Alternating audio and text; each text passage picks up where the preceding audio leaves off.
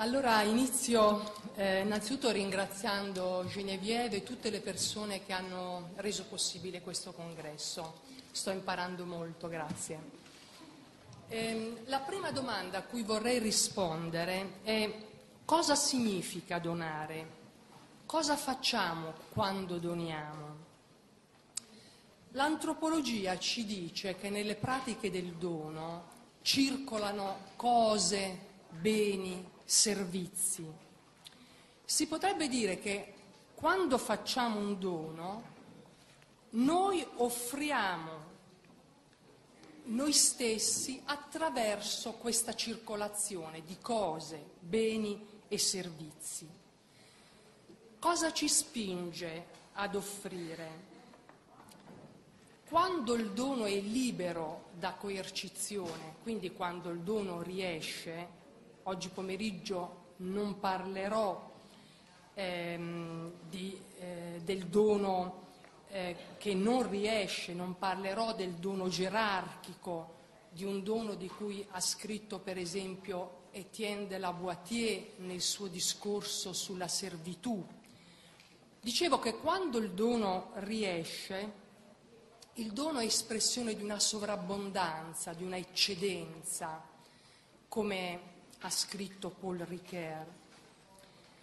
Nel dono c'è molto di più rispetto alle cose che circolano. Ehm, dietro al dono sta quindi questo di più, o come scrive John Kutze, va bene la pronuncia? Come scrive John Kutze, in un suo romanzo Slow Man, eh, chiedo a Bernadette perché lui è un, uno scrittore sudafricano che probabilmente tutti conosciamo perché è stato anche premio Nobel per la letteratura. Ehm, secondo lui ciò che ci spinge a, a donare è più o meno consapevolmente un desiderio di esprimere amore. In un passaggio di questo romanzo eh, dice proprio con riferimento a Marianna, vi racconto brevemente la storia, mi lascio accompagnare da questo romanzo perché considerato che abbiamo appena mangiato è più facile parlare con la letteratura che con la filosofia.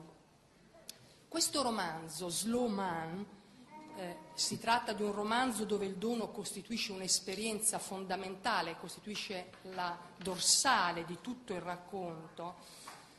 In questo romanzo eh, lo scrittore eh, sudafricano racconta una storia, è la storia di Paul e Marianna.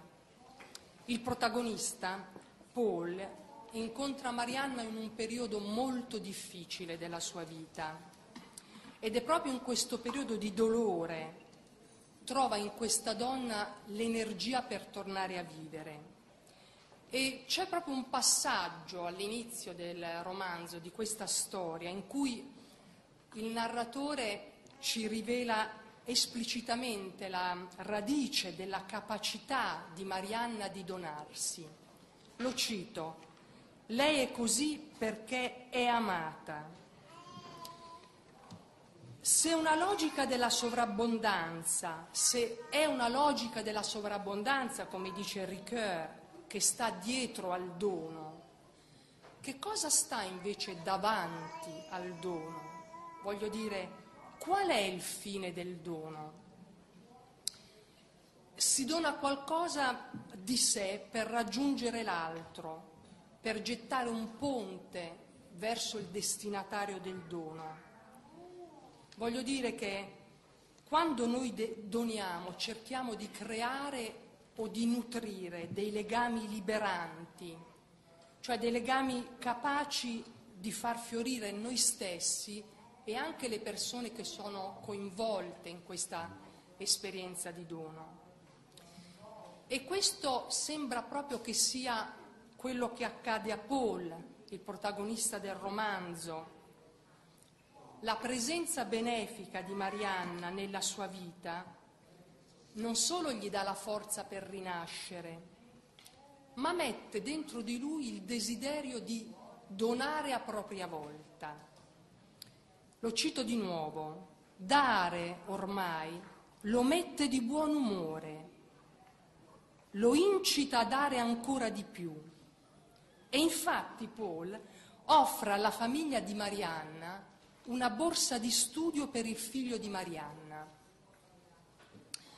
Sto seguendo il filo conduttore di questa storia anche per un altro motivo, perché ci permette di affrontare una questione che abbiamo toccato ieri, eh, una questione sulla quale vorrei tornare. Il dono è unilaterale o è reciproco? Il dono del nutrimento, della cura che la madre fa al bambino è un dono unilaterale, diceva Genevieve. A questa ehm, concezione del dono Elena Pulcini replicava, certo, il bambino non può ricambiare il cibo alla madre, ma può ricambiare con l'affetto. Allora, dono unilaterale o dono reciproco? Cosa ci dice John Kutze in proposito?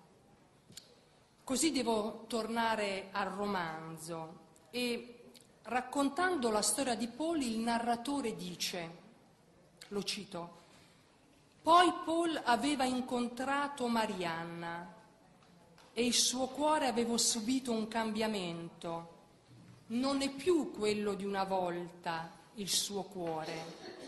Ha ricevuto tanto da lei. Il suo cuore adesso vuole a sua volta ricambiare. Ricambiare non è esattamente ripagare. Fine della citazione. Allora cosa significa ricambiare? E perché, secondo Cuzzi, ricambiare Cuzze, ricambiare non significa ripagare?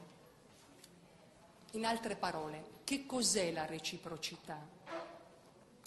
Esistono diverse forme di reciprocità, esistono varie figure di reciprocità. Alcune di queste figure sono incompatibili con il dono, alcune forme di reciprocità credo che siano compatibili. Vorrei sfiorare questa questione della reciprocità ehm, ricorrendo a un episodio di vita quotidiana. Dopo una cena in casa, chi laverà i piatti? Di fronte a questa prova dei piatti, eh, reazione, le reazioni che può avere una coppia sono diverse. Pre, comincia, comincio dalla peggiore. Ciascuno cerca di scaricare i piatti all'altro. Perché? Perché sente che tocca sempre a lui. Questo sentimento negativo può anche trasformarsi in accusa, anche in una volontà di rivalsa. Questa relazione, così come si dà in quella sera, è caratterizzata da una reciprocità negativa, che manifesta delle difficoltà, dei problemi. Insomma, quella sera in quella casa manca l'ossigeno e anche il dono. Di fronte ai piatti da lavare la coppia potrebbe anche reagire diversamente, vengo così alla seconda figura di reciprocità, cioè dire oggi tocca a te, domani tocca a me. Eh, allora, in questo caso, le, questa coppia, i due, osservano la regola del dare e rendere puntualmente. Questo tipo di reciprocità si chiama reciprocità alternata. Uno potrebbe dire, ma perché meravigliarsi se questa coppia si è presa le sue cautele per dare senza rimetterci? Non ci sarebbe niente di male se si trattasse di una relazione con il panettiere oppure con il pescivendolo ma un legame personale come quello che c'è tra chi vive insieme non può essere ridotto a un legame contrattuale, non può essere ridotto a un dare e rendere puntuale. Allora in questo stadio la prova dei piatti diventa di nuovo problematica perché è rivelatrice di una relazione di scambio e non di una relazione di dono. Questo secondo stadio, in cui è la componente dello scambio che conduce il gioco, viene superato quando la relazione si caratterizza invece per una reciprocità positiva. Prima avevamo, nel secondo stadio, nella seconda forma di reciprocità, un partner, un partner si trovava una volta in una relazione di debito, quando era l'altro che lavava i piatti, e l'altra volta in una situazione di credito, quando era lui che lavora, lavava i piatti. Adesso non è più così. Tutte e due le persone si trovano costantemente in una situazione sia di debito che di credito, sia, sono sia donatori che beneficiari, cioè eh, la situazione si confonde e eh, si realizza un flusso di generosità che va dall'uno all'altro, dall'altro a uno e questa generosità nutre e consolida eh, queste due persone, rinsalda il desiderio eh, di donare, anche infonde nuova linfa all'identità dei due. Concludo dicendo, perché Bernadette mi ha detto che devo chiudere, ci sono dunque due modelli estremi che ho esaminato, il modello della reciprocità negativa e quello della reciprocità positiva, quello della reciprocità alternata, diciamo, in una posizione intermedia. Credo che questi, anche i modelli più lontani, eh, non debbano essere considerati contraddittori, perché sono modelli compatibili.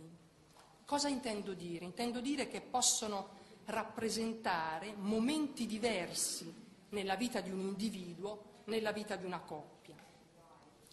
Dire questo però non significa considerare queste forme di reciprocità sullo stesso piano, perché la terza figura di reciprocità, la reciprocità donante, te- è l'unica reciprocità che riesce a tenere insieme due finalità, la riuscita del proprio sé, il fiorire del proprio sé e la riuscita al fiorire della persona dell'altro.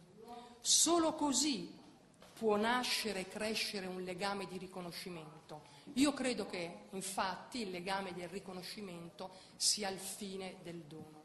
Grazie.